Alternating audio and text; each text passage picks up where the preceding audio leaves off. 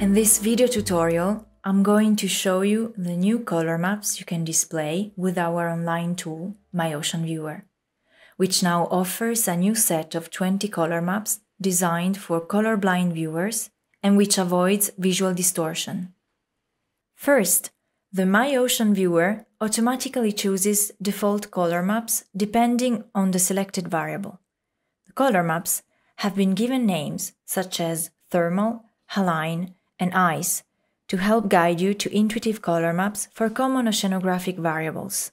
However, this nomenclature is not intended to restrict usage to any particular variable.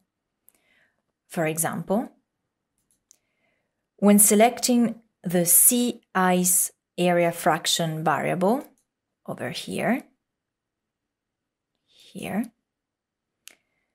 the ice color map is automatically used by default. But you can of course choose any other color map according to your needs. Here, for instance, I'm choosing balance.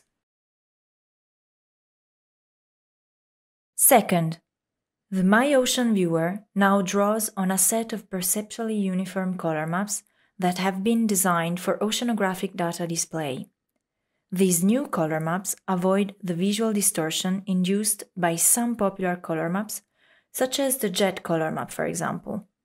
Indeed, even though the jet color map has been very popular for decades in the oceanography community, it is known to visually distort information, since it emphasizes arbitrary locations along the color scale, thus reducing contrast in others and sometimes introducing false gradients.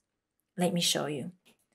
I'm going back to the main view and I'm going to select a different variable, seawater potential temperature, and another palette, rainbow.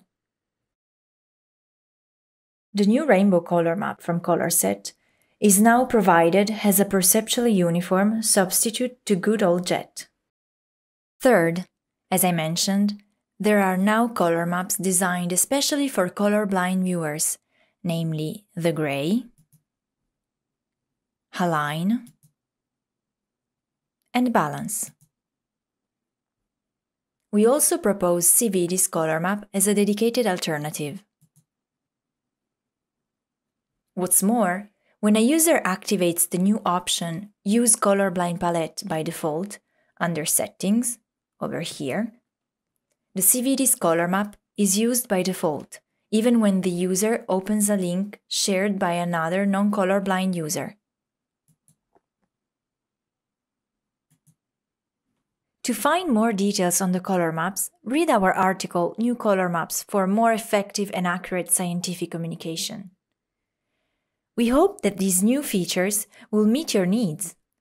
An updated version of MyOceanViewer will be released next month with a new video display feature.